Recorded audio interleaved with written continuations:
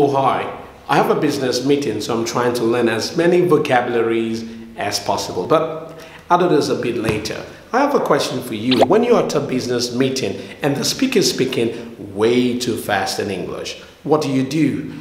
Or perhaps there are new vocabularies that are being used at the business meeting. You can't bring out your phone all the time to use an online dictionary to check every word. Otherwise, you might lose focus of what's been said.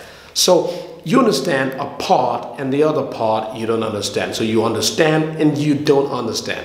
And then someone could ask you, do you understand everything. Do you understand what's been said? Of course, you need to be honest about your level of understanding. So you might do something like this, which means that I understand 50 50, or I understand something about what's being said. In today's video, I'm going to be giving you some great words you can use to show that you don't fully understand what's been said. You understand a part of what's been said. You understand something from what's been said.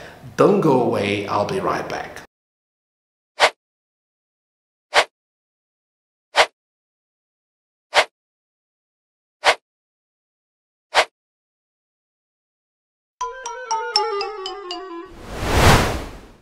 This is your first time here. My name is Olale from One bringing you great tips on how you can speak English effectively. One of the goals of this channel is to give power to you, is to give power to you through effective vocabularies that will help you make a change every time. Remember, one of the best ways to speak in English effectively is when you're able to make a change every time. Not by using the same vocabulary all the time, but by changing all the time. When you change your vocabulary, it shows you have confidence. It shows you have a wide range of vocabulary. It shows flavor. It shows change every time you're speaking. So one of the goals of this channel is to bring that change to you so that you are able to alternate your vocabulary every time hit the like button if you're learning just a little bit of English every time. You might also consider subscribing to the channel somewhere down here if you haven't done that already so you can stay notified of great videos like these that will help you take your English to the very top.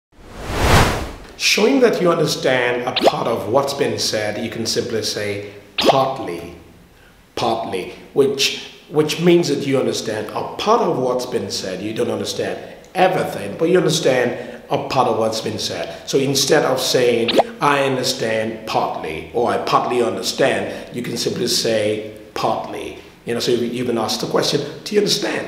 You can simply say partly. Partly means a part of what's been said. You can also say partially. Please say with me, everyone, partially. Partially also means partly, so you can simply say, well, um, I understand partially. Sometimes you still have difficulty to fully understand, but perhaps because the speaker is speaking very fast, or perhaps the speaker is using vocabularies that you don't know the meaning. So of course you might uh, struggle. Struggle means that you are having a hard time, you're having difficulty to understand something or to do something. So we can simply say struggle. Struggle to uh, cope or to understand what's been said. So simply means that you're struggling. Of course, you know, uh, even if you're fully concentrating, fully pay attention to, to what's been said, you might just be able to understand this much. So you can simply say, well, I understand not very much. Not very much. So someone could ask you, do you understand? You can simply say, well, not very much. Or you can simply say, not really not really. Please say with me, everyone, not really. You can simply say roughly, roughly. So someone uh, could have asked you, do you understand? You can simply say, well, roughly, roughly. We can also use slightly, slightly. Well, it means you don't understand a lot, but you understand just a little bit. So you can simply say slightly.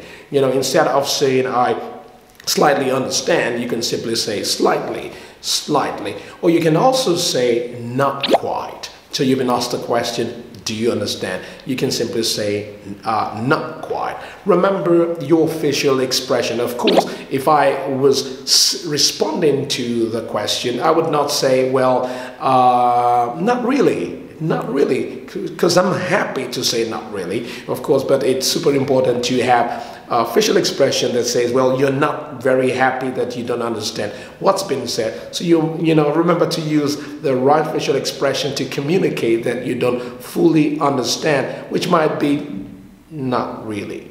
Not really. Well, uh, it's super important to have the right expression to communicate that you uh, don't really understand. You understand just these bits. Goal is to understand the general sense, even if you don't understand the specific details, you don't understand all the specific details and the vocabularies that's been used, or you're not bothered about the speed at which the listener is speaking, because sometimes when you're bothered about the speed or you're bothered about the new vocabulary, you know, you might be listening and you get to a new vocabulary, and that's when you are in trouble. You stop and start thinking about the word. What does that word mean? And then you might lose focus of what's been said. So sometimes when you ignore the new word and just continue to listen, you might understand the general sense of what's been said. So you can simply say, well, I understand the general sense of it, or I can, or you can also say, I understand what's been said on the whole. Please stay with me, everyone, on the whole. It simply means that you understand generally what's been said.